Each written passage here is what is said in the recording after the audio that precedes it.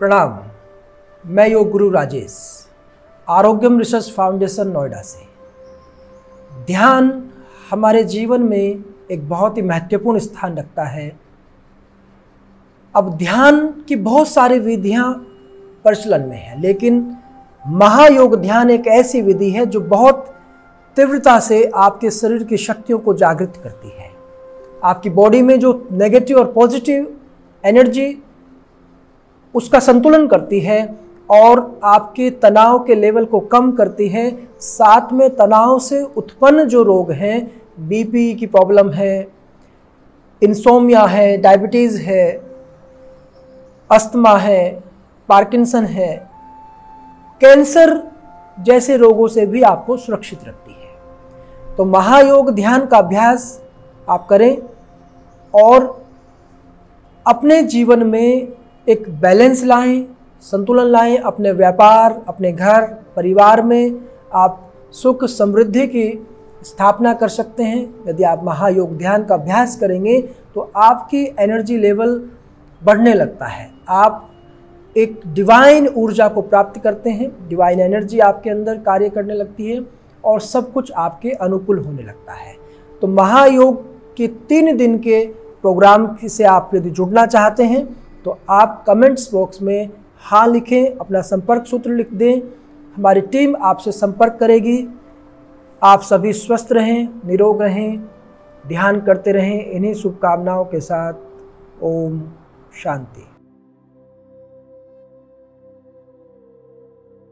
And मैं recommend करूँगी कि जितने भी यंगस्टर्स हैं, उनको ये करना चाहिए बिकॉज़ आजकल की जितनी भी यंग जनरेशन है, उन सबको कहीं ना कहीं अपने रिलेशंस को लेके with family with friends with parents सबके साथ प्रॉब्लम होती है। मुझे इस क्रिया ने मेरे हर स्फेयर ऑफ़ लाइफ एंड हर रिलेशन में बहुत हेल्प की है।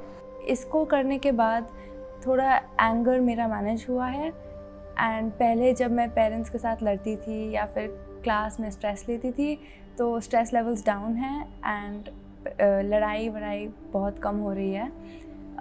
फिज़िकली uh, मेरे को अंदर से बहुत एनर्जी मिली है। uh, मेरे लेफ़्ट एंड राइट साइड पे एनर्जीज बैलेंस हो गए हैं।